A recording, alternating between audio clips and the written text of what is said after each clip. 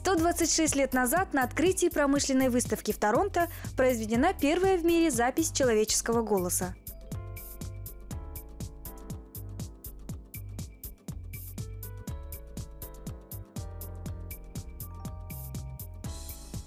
Одиннадцатого сентября 1952 года состоялась премьера шестой симфонии Сергея Прокофьева.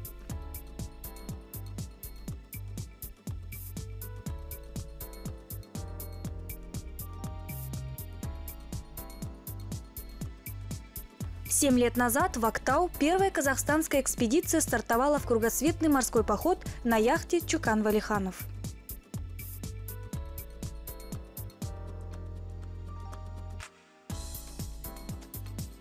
В 1965 году родился режиссер, сценарист Амир Каракулов. Он работал над картинами «Разлучница», «Голубиный звонарь», «Последние каникулы», «Не плачь», «Виртуальная любовь». 78 лет назад родился общественный деятель, крупный ученый, признанный педагог и высококвалифицированный хирург широкого профиля, доктор медицинских наук, профессор, лауреат государственной премии Камал Ормантаев.